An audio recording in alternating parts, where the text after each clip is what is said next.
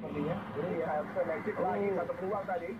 Ya, berusaha melakukan nutmeg tadi. Ya. Dan ini tadi yang diharapkan oleh Clemency ya, ketika mereka melakukan pressing bola bisa didapat di area di zona pertahanan ya daripada Rams. Mereka cepat langsung direct menghadap eh, menghadap ke gawang.